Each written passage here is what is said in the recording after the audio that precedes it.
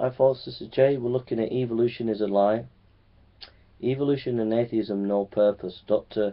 William B. Provine, Professor of Biological Sciences at Cornell University. Let me summarize my views on what modern evolutionary biology tells us loud and clear.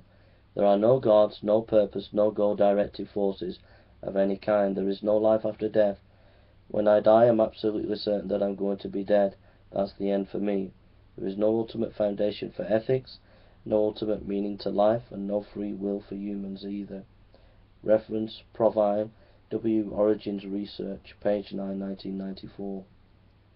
Evolution, no morality. From a debate between two evolutionists, Lanier is a computer scientist, Dawkins is a professor at Oxford, and an ardent atheist. Jaron Lanier, there are a large group of people who simply are uncomfortable with accepting evolution because it leads to what they perceive as moral vacuum in which their best impulses have no basis in nature. Richard Dawkins, all I can say is that's just tough. We have to face up to the truth.